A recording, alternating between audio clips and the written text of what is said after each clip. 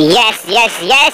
Magandang araw ulit mga kasabong. Nandito ulit tayo. Shoutout muna kay Angelica Katoliko, Angelo Bacalla, Rowena Golgolway, Josvin Spino, at Nakakatawa Bay 25.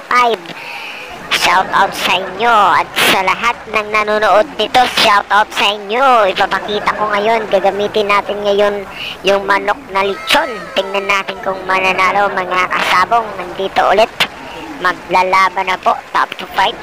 Laban sa manok na hubad. Ayun.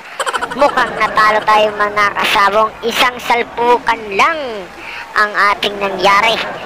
Naging lechon ulit yung manok natin. So ayun. Lalaban ulit. Rematch. Tingnan natin kung mananalo. Manok na hubad. Laban sa manok na lechon. Gamit natin yung manok na lechon ngayon. Nagsalpukan po Double KO mga kasabong walang nanalo. Grabe ang tindi pala ng lawan na to. Mga kasabong lakas ng manok na lechon. Ayun, lalaban ulit. Tingnan natin, manok rematch, manok na lechon laban sa manok na hubad. Tingnan natin. Nagsasalpukan na po. Unang laban po sa manok na hubad. Mukhang tinamaan yung manok na hubad mga kasabong. Ayun.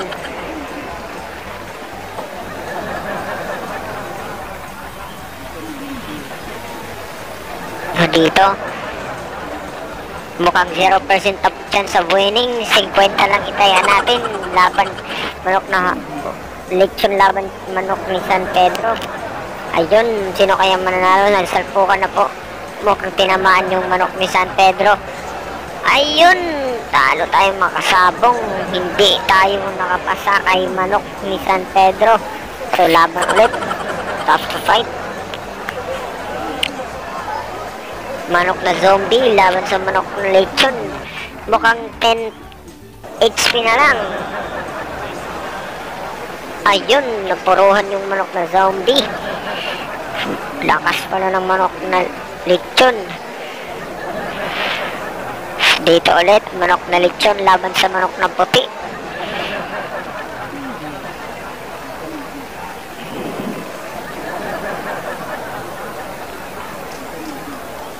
Ayun, talo yung manok na puti. Shoutout nga pala kay Memoriado TV. Isa siyang OFW na kung saan vlogger din siya. Small YouTuber din katulad ko. Pakisuportahan ang kanyang channel mga kasabong. Ayun. Memoriado TV. Shoutout sa'yo.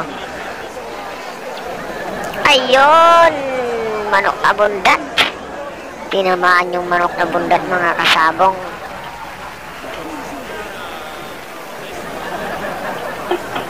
Dito na ulit. Magsasalpukan na mga kasabong manok na itim laban sa manok na lechon. No? Isang salpukan lang. Talo tayo mga kasabong. Rematch ulit. Tingnan natin kung mananalo na. Sa manok na itim. Ayun, nagsalpukan. Double KO. Walang nanalo. Lakas ng manok na lechon.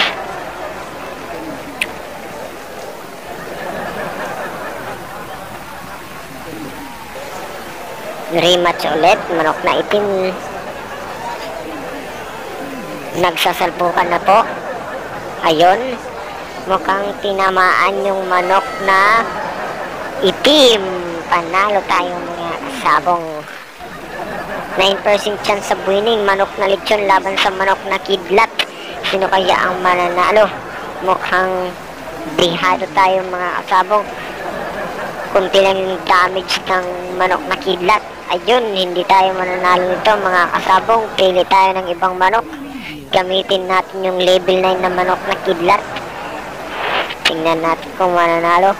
Manok na kidlat laban sa manok na kidlat. Pero ang laki ng HP natin. Alam na kung sino ang mananalo. Salpukan na po. Ayun, naging abo yung kalaban natin. Binigyan tayo ng Dragon Eye. Grabe, ang tindi pala mga kasabong.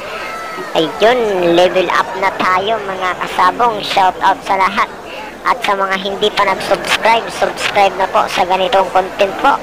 At click the notification bell para updated ka sa ganitong content.